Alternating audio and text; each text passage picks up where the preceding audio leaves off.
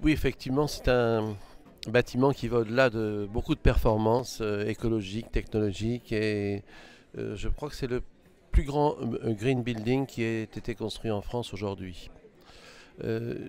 ça consiste en quoi? En réalité, la première vertu d'un bâtiment vert, c'est qu'il soit avant tout bien isolé pour, pour diminuer les, sautes de, de température, du chaud ou froid, donc avoir une, une régulation déjà de, de, cette température. Après, c'est les techniques pour euh, réguler cette température que nous avons mis au point. Euh, certains éléments sont déjà très classiques, mais nous avons mis ensemble les éléments les plus efficaces. Le premier, c'est la dalle, euh, la dalle active. La dalle active, c'est-à-dire c'est une dalle dans laquelle on fait passer du chaud et du froid et qui travaille beaucoup la nuit. C'est-à-dire que, par exemple, en plein été, on refroidit la dalle de, la dalle de béton qui, est donc, qui correspond au plafond. C'est pour ça qu'on a très peu de, faux plafonds. C'est parce qu'on on a la dalle qui est directement en contact avec l'espace, avec l'air. Et donc, euh, on envoie de l'air frais, un, liquide froid la nuit.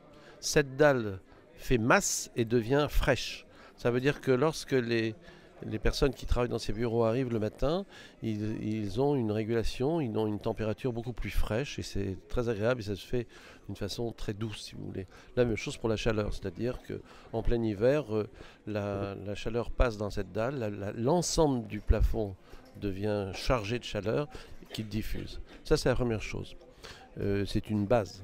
Ensuite, euh, en ce qui concerne la production de la chaleur, on a opté pour deux solutions. Une première qui est des puits qu'on a creusés à 80 mètres dans le sol, dans laquelle on, retrouve une température constante, si vous voulez, et qui, va servir comme base de cette température.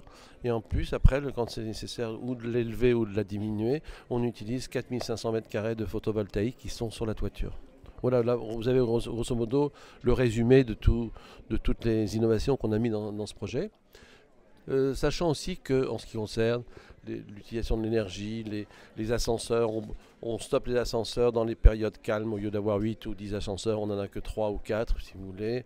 Euh, toutes, les, sources de lumière sont de consommation d'énergie très très faible, soit par LED, soit par, fluorescence.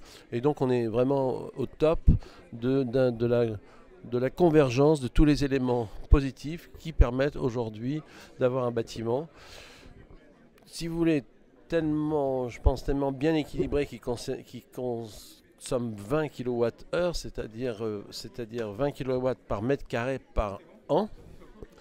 Et si vous voulez avoir une comparaison, imaginez une grosse berline qui consomme 3 litres d'essence au 100 km. Voilà, c'est un exemple très comparable.